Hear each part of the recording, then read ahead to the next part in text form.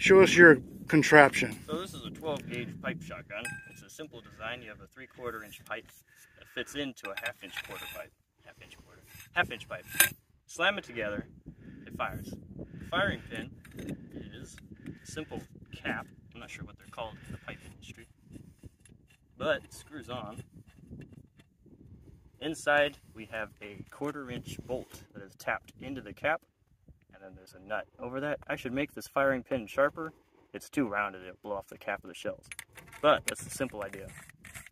Total cost of the build is probably about $12. Uh, yeah. I haven't died yet, so it works. All right, let's put our ears on and see you do it. Let's see you blow your hands off. oh, you're just waiting. So we're gonna try a double up knock. Whoa! Okay, try it again. I'm gonna back up a little bit. That overexpanded the shell. As you see, it's stuck. So here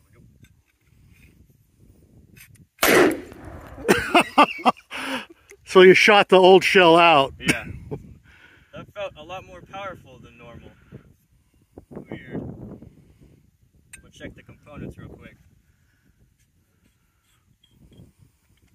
Okay, we're good.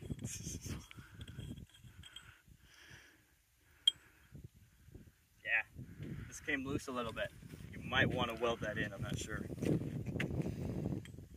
Probably had pressure escape from the back, so I'm definitely going to weld that plug in.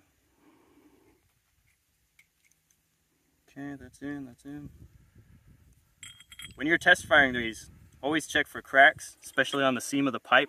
That's your weak point. So as long as there's, you know, after about three shots, you should be able to fire it with your hands. I'm still not going to put it near my face or anything, but, you know.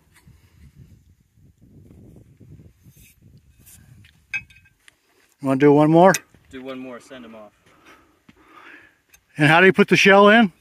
So it's pretty much like a breech load. You just pop it in. Okay. All right, that's good.